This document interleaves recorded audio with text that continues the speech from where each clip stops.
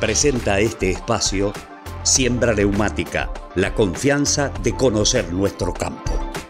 Durante la semana pasada se dieron precipitaciones en todo el área de influencia de la bolsa de cereales y los mayores acumulados se dieron en el centro de la provincia de Córdoba. Como podemos ver en estos mapas elaborados por el Servicio Meteorológico Nacional, el contenido de agua en los suelos ha mejorado significativamente. Quizá la provincia que menos beneficia se, se ve es la de Santiago del Estero, especialmente en su sector centro-sur. En cuanto a los cultivos en la provincia de Córdoba, el trigo ha aumentado los lotes en condiciones regulares a malas. Y esto se debe a que las lluvias llegaron tarde para el cultivo, porque ya se encontraba en un estado fenológico avanzado.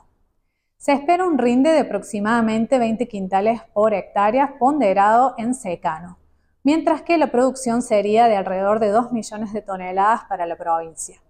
Esto significaría un 33% más que la campaña anterior, pero un 22% menos que el promedio histórico.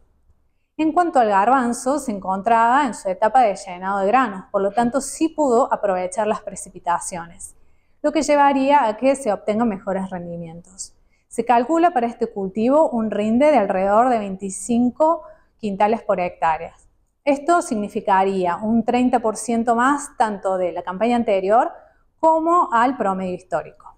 Ahora, con respecto a lo que nos espera del tiempo para esta semana, se estarían dando lluvias nuevamente para la zona de influencia de la Bolsa de Cereales de Córdoba, con milimetrajes que podrían ir entre los 5 y los 20 milímetros.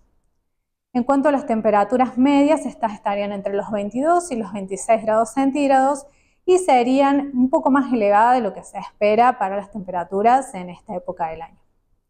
Esto es todo por hoy, les mandamos un saludo desde la Bolsa de Cereales de Córdoba. Muchas gracias, hasta la próxima.